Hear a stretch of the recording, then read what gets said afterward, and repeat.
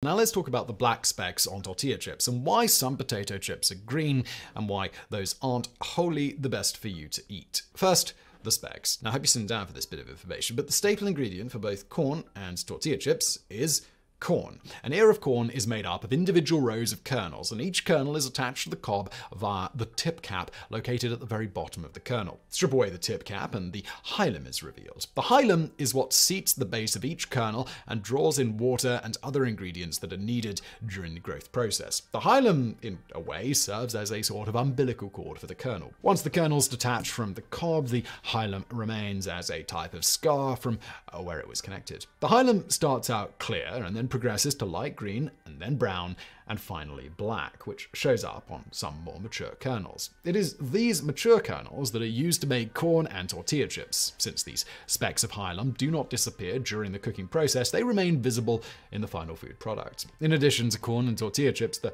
black hilum can also typically be seen on taco shells, corn tortillas, and other similar foods made with corn. But to conclude, in some sense, when you are eating the black specks, you are eating the little ground up and murdered baby corn's umbilical cords. And onto the green potato chips then. As another bit of shocking information, potatoes grow underground and thus are generally not going to get any direct sunlight to the potato part of the plant. However, sometimes some part of the potato does ultimately get exposed to sunlight, and as a result of this, chlorophyll develops. So, why are the green potato chips sometimes called poisonous? After all, nothing is wrong with eating chlorophyll. Well, the answer lies in a glycoalkaloid that is also found in potato plants called solanine, which otherwise is produced in the above ground portions of the plant and provides some protection from insects and the like. For the potatoes themselves, lucky enough to get some sunlight and green of their own, this also ends up in the glorious potato chips created from these potatoes. Granted, the amount of solanine in that green potato chip is minimal, so much so that you have to eat a couple of dozen green potatoes in a day to suffer any ill effects from this. And for reference, a medium potato produces roughly 40 chips, so